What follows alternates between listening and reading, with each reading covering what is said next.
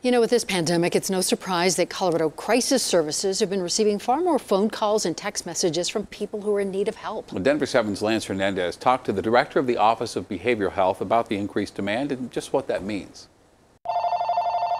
Colorado Crisis Services has seen a 33% jump in calls and text messages since the pandemic began. If you have an urgent behavioral health need and would like to be connected to a crisis clinician, in October, they fielded 25,000 calls compared to 15,000 in October 2019. Everything from depression, um, struggling with social isolation, struggling with um, sort of um, anxiety around the pandemic or anxiety around life in general.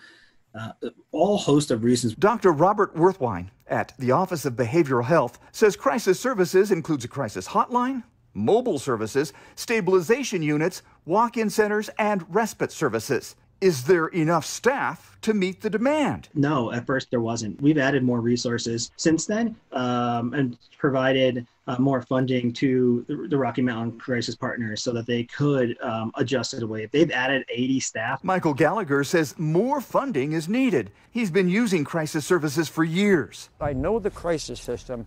It needs support. It is saving lives. It is immense grief going on out there. Gallagher has had suicidal ideations. He's learned a great deal about suicide to help himself. He says having a pet python helps. It's almost like I can't die because this, this means so much to me. He wants people to know that crisis line calls are prioritized. Dr. Werthwein says everyone gets checked in, but calls involving safety are taken first. We just ask for a little bit of patience. Uh, it might take a little bit longer than it did before the pandemic, but we will have someone answer for you. Lance Hernandez, Denver 7.